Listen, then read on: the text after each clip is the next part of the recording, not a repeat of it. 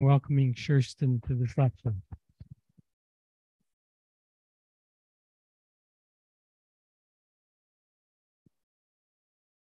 All right. So thank you very much for having me. Um, as you just heard, my name is Kerstin Perez.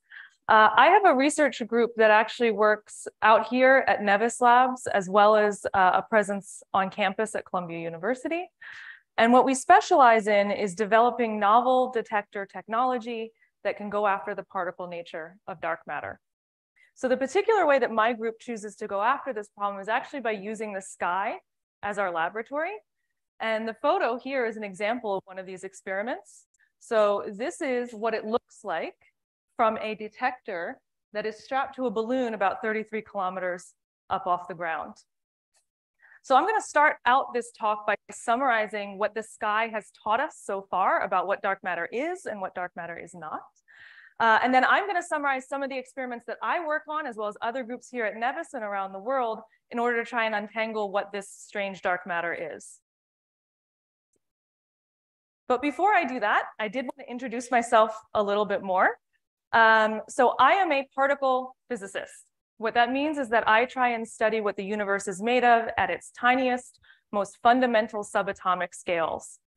As you heard, I started out my uh, career working on the ATLAS detector at the Large Hadron Collider at CERN. So this is a five-story monstrosity of a detector that's 100 meters underground and is built to look at some of these tiniest, most fundamental subatomic particles uh, with you know, micron level precision. And when I showed up, uh, you can see the photo of me here, when I showed up, it was still being built and in fact was covered in scaffolding. And one of my very first jobs when I showed up as a PhD student was to crawl through the instrument and look for wrenches or screwdrivers that had been left behind. Because this atlas is a giant magnet. And if you turn on a giant magnet and you left a screwdriver inside, you have just punched a hole through your multi-billion dollar experiment. So I really like to show this photo, one, because I look glowingly young in it, um, and two, because I have this look on my face that is just me going, there's no way this is gonna work, guys. Absolutely not. I was wrong, very happy to be wrong. Of course, we discovered the Higgs boson. Um, since then, I, as you heard, I shifted into cosmic particle research or astroparticle physics. So I go after a lot of the same questions that people at CERN are going after, but I'm using particles that are coming from space in order to answer those questions. Um, so I work on three major experiments. The first one is an Antarctic balloon experiment called GAPS that is looking for low energy anti-nuclei as a signature of dark matter. I also work on an experiment called the International Axion Observatory. Uh, this is a telescope that points at the sun and is looking for strange dark matter particles to be made in the extreme environment of the core of our own sun. Uh, and I also work on a variety of different X-ray and MEV uh, observations using existing satellites, in particular looking for light dark matter particles like sterile neutrinos and axions. So like I said, these last three uh, experiments uh, are really all using the sky in order to probe something about dark matter. And one of the reasons I like to use the sky to go after this question is because most everything we know about dark matter, we know from looking up at the sky. So let's start at the beginning. What do we uh, see when we observe the sky? So this is Andromeda Galaxy. It's our next nearest galaxy neighbor. What you see when you look at this image is, of course, stars, but also vast quantities of gas and dust. It's brightest in the center, that's where most of the matter is, and everything else is rapidly rotating around that center. So before I go on, let's stop for a moment. How do I know all that? How do I know that's what we're looking at? Well, everything we know in astrophysics, uh, most of it comes from photons, light. Basically, everything I just talked about either produces, absorbs, or reflects light. Now, some of this light might be in the optical wavelength. That's the part of light that we can see, and this image happens to be an optical image. But of course, we have observatories, telescopes, et cetera, that observe in higher energies or smaller wavelengths, or lower energies and lower wavelengths.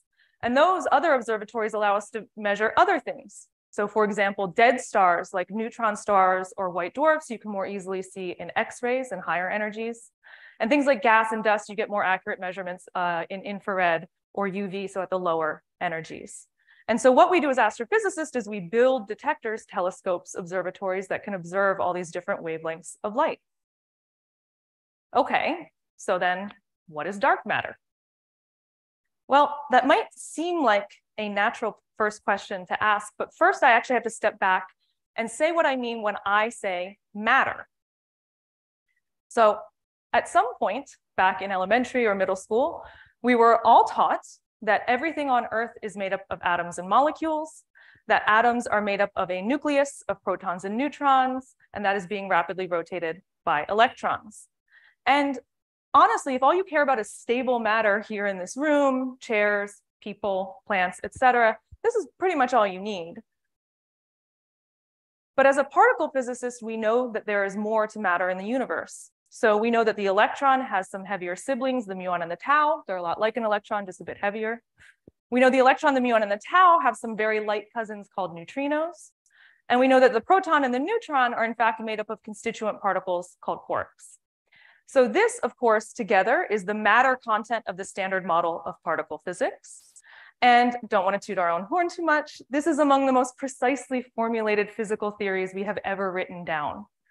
One of the ways that I like to think about it is it's as if we had a physical theory that could make a prediction of the distance between where I stand right now and LA airport and get it right, meaning it, it is consistent with measurements to within the width of a human hair. So we're doing a pretty good job on this, but it doesn't explain everything. It doesn't explain why neutrinos have mass. It doesn't explain why the Higgs boson happens to weigh exactly what it weighs.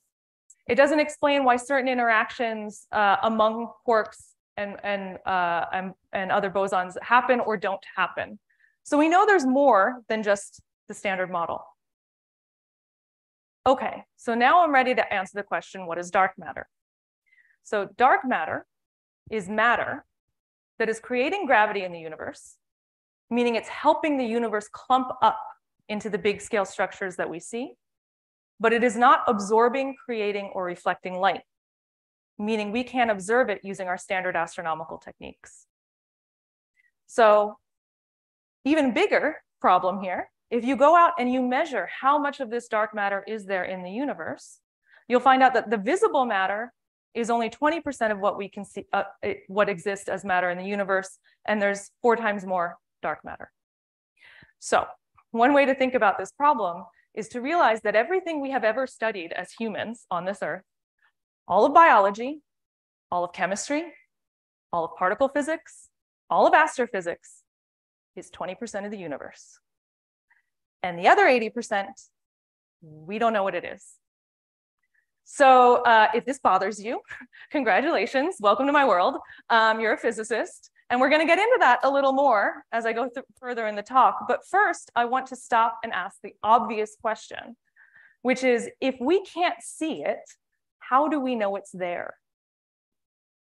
And the simple answer is gravity. Like I said, gravity is what holds the universe together. It's what makes it clump up. Gravity is what is holding you down in your chair. It's holding me down on the floor right now. It's holding the Earth and other planets in orbit around the sun, and it's holding the sun and other stars in orbit around in galaxies like we were just looking at. And so what you can do is go take an object, say a star that's orbiting around in a galaxy, and you can measure how fast it's going. And then you can look inside that orbit and you can say, well, how much matter is there? Take your telescopes, get all your telescope friends together and weigh how much matter happens to be within that orbit. Again, why are we doing this? Because mass or matter creates gravity, and gravity is what holds things together. It's the string that's holding it all together. And so you can go out and you can make this measurement. And people have some of the uh, earliest, most precise measurements were done by Vera Rubin uh, in the 1970s. And if you do these measurements, you get something that looks like this. So on the y-axis here, this is how fast stars or objects are moving as a function of distance away from the galaxy. The dotted line is what you expect to measure based on just counting up how much regular matter you see. So that's how fast things should be going. And then the data points, the yellow and the blue, is how fast things actually are going. So in essence, what this plot is telling you is that everything in these galaxies is moving way, way, way too fast. It's as if these galaxies should not be held together at all. They should just be flinging apart into space. The analogy I like to use is imagine you have somebody who has a bucket full of bricks, right? And imagine they tie it to a rope and they're just swinging it around and around and around. Well, if you were watching someone do that, you would expect to see a very thick, strong rope kind of holding all that together. But what actually you observe is you look at them and it's like there's this tiny little piece of dental floss that's holding the whole thing. And you go, whoa, whoa, whoa, why is it staying together at all? It should just be flinging apart. So that missing tension, that missing part that's holding everything together is what we call dark matter. Now, these measurements of uh, galaxy rotation curves is what they're called, are not the first time that someone thought of the idea of dark matter. Um, the phrase dark matter actually goes back to the 1930s. So this was a scientist called Fritz Zwicky who was looking at um, galaxy clusters. So this was not just looking at a single galaxy, but looking at whole big balls of many, many, many galaxies. And he noticed much the same thing that the galaxies rotating around themselves in these clusters were moving too fast to be held together. And he said, well, what is it that's holding this together? He called it Dunkelmaterie or, or dark matter. Okay, everything I've told you so far, this is a pretty radical idea, right? I am saying that, you know, everything we've ever measured is 20% of the universe and this other 80% that is missing in holding everything together must be this new dark matter thing. So not only is there some new kind of matter in the universe, there's a lot of this brand new kind of matter in the universe. It's not that our measurements were off by a little bit, it's that when we measure the speeds, they're off by a lot. So you can think, hey, why come up with this whole new form of matter? Maybe we just don't understand gravity that well. And maybe we should think about that explanation. So people have done that. Years go by, lots of other observations happen what you're looking at here, um, this is actually a field of many, many, many galaxies. So each of the bright spots here is actually an entire galaxy. And uh, there was this pretty, pretty smart guy, Albert Einstein. Um, he had a lot of ideas about gravity. So he came up with the idea of general relativity. We've already had to modify our idea of gravity once. And what general relativity does, uh, you know, the way that he thought about gravity was he understood gravity as bending space. And so when we see planets in orbit, that's because the space has bent in such a way that that is bending the way that they travel. Imagine uh, you go home and you look at your sink drain and you see water spinning around and around. That's sort of the way he thought about orbits and, and motion. And not only does this bending of space bend the trajectory of, say, planets, it also will bend the direction of light itself. So gravity will bend light as it travels, just like the lenses in my glasses are bending the light as they travel towards my eye. And so what this says is if you put some big mass, something that makes gravity, in front of some light, you should see this bending. And so you can go home tonight and actually uh, play around with this whole idea. This idea of gravitational lensing, you can simulate it in your own home by thinking about uh, the stem of a wine glass as a lens. So if you take a candle and you put it somewhere far away and you look at that candle through the stem of a, a wine glass, depending on the orientation of the wine glass, you could see a ring produced by that light or some you know, four dots or maybe two dots or something like that. That's exactly what we expect to see happening from the bending uh, uh, of light by gravity. So Einstein was very smart, but he did not have faith in us experimentalists, I have to say. So if you go to the paper that he wrote where he predicted this gravitational lensing, he says the following. He says, of course, there is no hope of observing the phenomena directly as described in this publication that Mr. Mandl squeezed out of me. So he's basically like, my friend just made me write it down. Uh, it is of little value, but it makes the poor guy happy. But I am very happy to tell you that this is one of the ways that Albert Einstein was wrong. And we do now have the uh, ability to observe exactly this gravitational lensing. So you can go out and make observations and you will see exactly like you expected to see from that wine glass analogy. So you will see rings of light that are essentially what that's telling you is there's a light source back here, some bright galaxy, and there must be something very, very massive between that galaxy and us that's causing that, that ring of light. Or you can see multiple dots, and sometimes you get these these four dots. So this gravitational lensing gives you a way of making a map of where matter exists in the universe that's a little independent of just looking at light through telescopes. And so one of the ways that this map of matter can be really useful um, is in an observation called the bullet cluster. And this is an important observation because it kind of makes kind of kills the idea that you can just twiddle the thumbs on gravity to explain what we're seeing in dark matter. So I'm going to show a little video. And there's no, there's no volume or anything here. But let's see if I can get my mouse over. So what you're about to see is a cartoon and then it will overlay with the actual observation. What we call the bullet cluster is actually two clusters of galaxies. So imagine each of these balls is a ball of hot gas containing lots and lots of galaxies. And each one of these is embedded in some big halo of dark matter. And what happened between these two clusters is they pass through each other. And well, what happens if you throw a bunch of hot gas at a bunch of hot gas?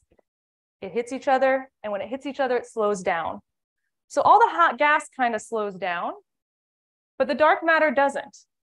So if you go out and you make an observation, you see, boom, there's all this hot gas that hit each other and slowed down. But now you go out with your gravitational lensing and you say, well, where's all the matter? Where's most of the mass?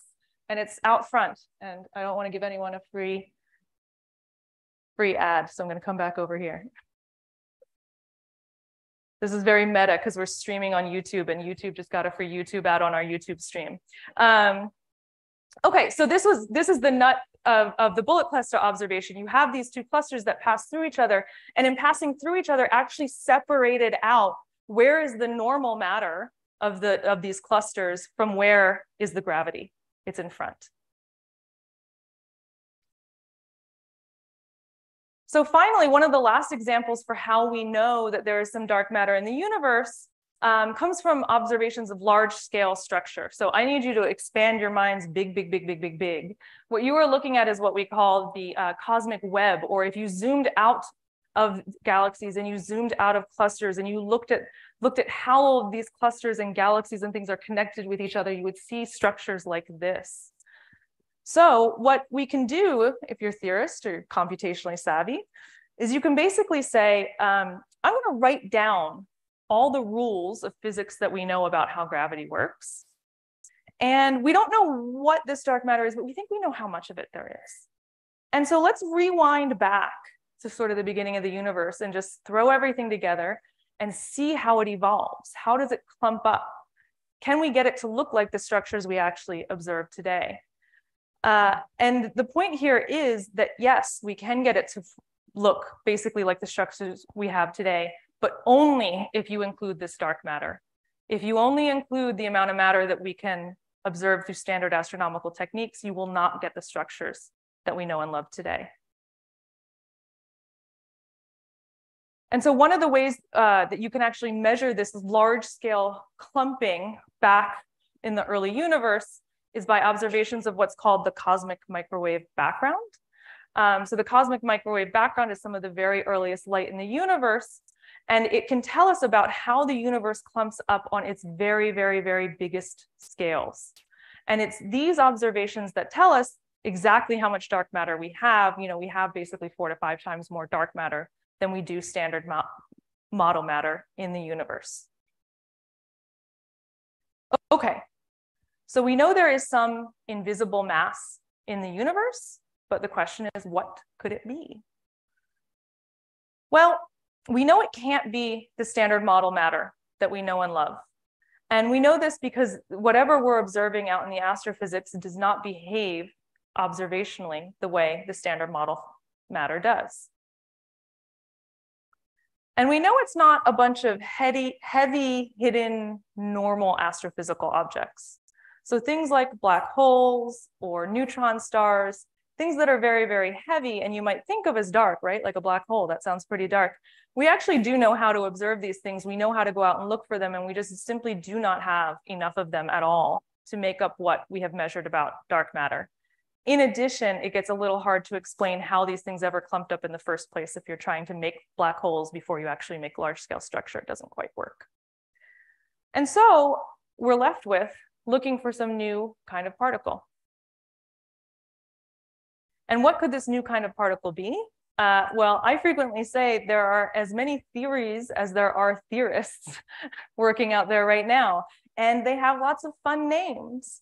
So you have things like WIMPs or weakly interacting massive particles, and that could be a neutralino or an extra dimensional theory or a gravitino. You can have things like mirror world dark matter or hidden sector dark matter. You could have dark photons or axions or sterile neutrinos. Basically, there's a lot of different ideas out there. And as I tell my students all the time, as experimentalists, we all went to find dark matter, right? And go to Stockholm and win a Nobel Prize and everyone's excited. Um, but mostly we don't. Mostly we measure zero and we just measure zero better than other people measured zero. And so I tell my students at the end of the day, if you want to stick in this game right now, you need to fundamentally be happy that your job might be to tell a bunch of theorists that they are wrong. And that is still very, very valuable for where we are right now, because I love to say, theorists, stop talking about this thing. Let's get more creative. Tell me the next thing to go look for that could be dark matter. Okay, so I'm saying that we want to go out and look for dark matter, but how do we look for invisible matter? I just said we can't observe it through standard astronomical techniques. So how do we observe something that's not absorbing, creating, or reflecting light? Well, thankfully, we have three main ways of looking for all these particles. So the first is on the bottom. Those are our particle colliders. So these are experiments that smash together particles that we know and love and study and are looking for new matter to be created. And you hope to see some new matter come out that has properties consistent with what the astronomical observations tell you dark matter is. Another class of experiment is the so-called direct detection experiments. So this is looking for some new dark matter stuff that's floating around and actually crashing through this room all the time to come into our detector and to smash off of our detector. Very rare, but it could happen. The last kind is indirect detection. So this is using the fact that, well, where does dark matter live? Dark matter lives way out there in the cosmos. And just like the particles we do know and love smash into each other and create new mass, these dark matter particles could smash into each other and maybe create the particles we do know how to measure. So indirect detection is the idea that we go out and we make measurements of the particles we do know how to measure, your electrons, your positrons, your protons, your antiprotons, et cetera, and try to use that to understand what kind of dark matter, dark matter interaction processes might be happening way out in space. And one thing I wanna say before I move on is we don't know what dark matter is. Spoiler alert. We do not know. So there is really no one experiment that is going to tell you everything there is to know about dark matter. This is really a team sport where each one of these is telling us a little bit something different about how this dark matter might interact with itself or with other standard model particles. So let's start with a little more detail of the particle colliders. So what you're looking at here is the Large Hadron Collider at CERN. For lack of a more elegant expression, it's a giant particle smasher. So it's accelerating protons around this ring, which is about uh, 27 kilometers or 17 miles around. So it's so big, it goes underneath two different countries. So it goes underneath both uh, Switzerland and France. And the reason you need it this big is that you are accelerating these protons to really, really, really, really, really, really, really, really high energies. Basically, they're going really fast. No, and then what do you do? You smash them into each other. So why do you do this? Um, essentially, you do this because E equals mc squared. If you have a lot of energy in your protons, you can convert that energy into mass which means you could create some new particles. And so this is what's going on uh, in the LHC experiments. They're basically looking for this energy in the protons to be converted into some new mass. Maybe they see some new particle and they can come and say, aha, this looks a lot like what we think we should see from the astronomical observations. The second one is direct detection. So direct detection, again, is you're looking for some new dark matter stuff to come smashing into your detector. So these are um, big experiments. Again, this is a fairly rare process. So you basically want to make your experiment as big as possible. And the cartoon that you have in mind here is you're looking for some new dark matter particle to come in and bounce off the nucleus of whatever it is that you have made your experiment out of. The dark matter particle you don't see, if only it were so easy, we could just see the dark matter particle. But what you do see is this nucleus recoiling off in the other direction. So that's what you're looking for is evidence of, you know, your happy little nucleus just sitting there and all of a sudden it gets knocked over. And you can say, aha, I think that was dark matter coming in. Now, the challenge here is, of course, there's lots of particles coming from space all the time. So how do you make sure it's not some other particle coming in and knocking your nucleus over? Um, part of how you do that is you put it really, really far underground. So these are experiments that tend to take place uh, deep underground in mines, or for example, underneath a mountain in Italy, such as the xenon experiment, which uh, uh, has a lot of development in the building just right down there, my neighbors. The final kind is indirect detection. And this is what my group works on. So the idea of indirect detection is to use the sky as our laboratory. So what do I mean by that? I mean that we have some out in the galaxy, some happy little dark matter particles that smash into each other. And just like E equals mc squared here on Earth, e equals mc squared out there too. So you could create some new particles out the other side. And what you want to see coming out the other side is something you do know how to detect. So it could make electrons or protons or neutrinos or antiprotons or antineutrons or an antinucleus if those two come together. Or dark matter could decay. It, it's pretty stable, but there's a lot of it. So every, every now and again, you'll get a rare decay. You could get a photon or a neutrino or something like that. So the idea of these indirect detection experiments is to try to measure everything coming out this side in order to tell us something about what's happening on the dark matter side that produced it. So I'm just going to say a few words about the experiments that I happen to work on, and then we can finish up and i am happy to answer some questions. So the first experiment I work on is called GAPS. That's the General Antiparticle Spectrometer. And what GAPS does is it is a uh, giant particle detector on a balloon. So imagine something like Atlas or CMS, but smaller, and strapped to a balloon that flies over Antarctica. Why Antarctica? I'll leave that as a question to the audience, and you can ask me that later if you're still curious. Um, so I find frequently that when I talk about uh, the fact that I take an experiment and I strap it to a balloon and I fly it over Antarctica, people are thinking like, oh, that's cute. I've seen weather balloons. Like it's something that like sits on this table, say, you know, it's not that big. So I have to show um, some happy parent photos of exactly how big this thing actually is. Um, so this is a, photo of the experiment starting to come together uh, in my lab back at MIT. I love this photo because it shows the scale of people next to the scale of uh, this giant beast that is going to hang from a balloon from Antarctica. In fact, it is one of the largest balloon payloads, uh, Antarctic balloon payloads that will have ever been launched. Now, what my group actually did is we helped build the semiconducting silicon detectors that sit at the heart of this instrument. Um, and so again, we're looking for something very rare. So we need lots and lots of detectors. In fact, we had to make over a thousand of these silicon detectors, and that is what we're going to strap to our balloon and go fly. One of the other experiments I work on is uh, NuSTAR. So this is a satellite, X-ray satellite telescope that already exists. It is flying, it's up in space. It consists of two co-aligned grazing incidence optics. So let me explain what that means. If you know anything about X-rays, you probably know that they don't bounce that well, right? That's why you can have X-rays that come straight through your body. So you can't get an X-ray to bounce like this very, very easily, but you can get an X-ray to bounce at a very, very shallow angle. That's what grazing incidence means. So you can get it to bounce just a little bit.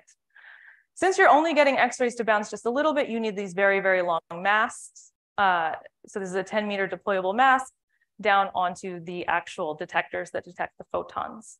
And so I use this instrument to look at um, very, very light dark matter particles that could decay into uh, light in the X-ray energy range. And I have to note the connection with NEVIS here that these optics were actually built at Columbia University's NEVIS laboratories, in fact, just down, just down the road there. And so then the last experiment that I work on is called the International Axion Observatory. So the International Axion Observatory is looking for rare dark matter particles that are being produced within our own sun.